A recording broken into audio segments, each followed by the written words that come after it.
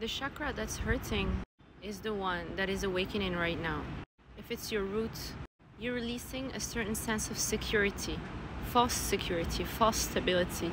And once that's removed from you, once you start feeling at home within yourself, feeling secure within yourself, not needing outside validation for that, you're going to start feeling great.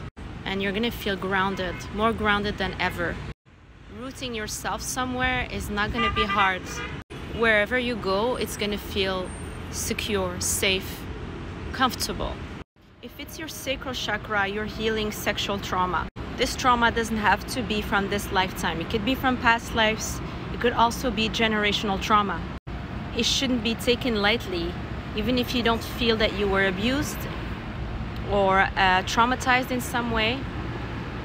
If you feel it in your sacral chakra, you either inherited it from or it was passed down to you by your family or you felt called to heal it from past lives. Sacral chakra is always connected to creativity how much of that are you expressing into this world? Are you letting yourself be the channel that you're supposed to be? Remember that intimate relationships are always sacred.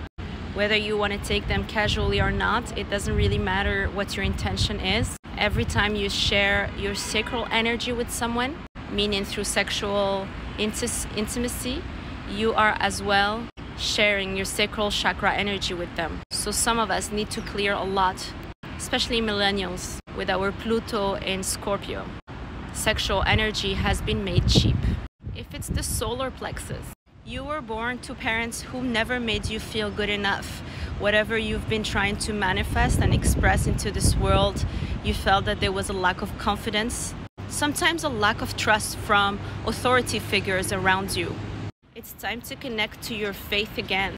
How much do you believe in yourself? The more you have faith in God, in Source, the more you are able to connect to your higher self and believe in your worth, in your confidence, in the fact that you have so much to offer to this world. Solar plexus is connected to Leo energy, by the way. If you're hurting in the heart chakra, the heart is how you connect to your angels, your spirit guides, your ancestors. This is the direct channel, direct connection to source, to God. 234 in the clock. Whenever you're connecting and hurting through the heart chakra, just know that you're going to be elevated. You're going to go through um, pain. I'm also hearing heartbreak in order for you to level up. Your vibration is increasing. Every time we have pain around the heart chakra, we are protected, we are being guided, we are mentored by our guides, our angels. You need to trust just give your pain to whoever you believe in. If it's in Jesus, if it's in Krishna, if it's in God, if it's in Allah, whoever you believe in, Mother Mary, give this pain to them. They will help you heal. They will help you feel relieved. The pain is going to feel less heavy. And all of a sudden, you're to sense it. You're to instantly feel the heaviness gone. Your heart is to feel so much lighter. Just be thankful to them. Give back gratitude. As long as you're grateful, that's all you need to give in terms of energy exchange to this deity or source. If it's the throat chakra, know that there is a mentor coming your way. This mentor is helping you through energy healing, uh, whether it's a Reiki master, whether it's um, a healer of any kind, or even a, I'm here in a public speaker. It doesn't really matter what they do, but there's going to be help in terms of energy healing. The throat is a portal.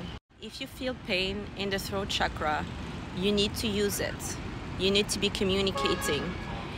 You are lacking some self expression of some kind, whether it is through writing, speaking, reading. You need to self express. And this gift needs to be shared with the world. And the mentor is coming to help you with that. If you're hurting through the third eye chakra, this can actually happen through headaches for some, or even feeling like a lack of intuition, like your intuition is not working anymore. For the third eye chakra, it will be important to connect to your innocence, purity of heart. Remember why you do the things you do. As long as you do remember that, as long as you follow that purity of heart, that innocence, you're going to be able to clear the energy the stagnant energy around that chakra specifically. If it's the crown chakra, a lot of the time we feel confused. There is a lack of clear mindedness, and it's hard for us to, you know, have a clear mindset in general. We're just confused, and we also could be suffering from illusions and addictions for some of us. I'm also hearing obsessions. The crown chakra, you guys, need to be protected. So if you're not feeling protected, you need to ask for protection. You can use uh, crystals, you can use energy healing, you can use Reiki.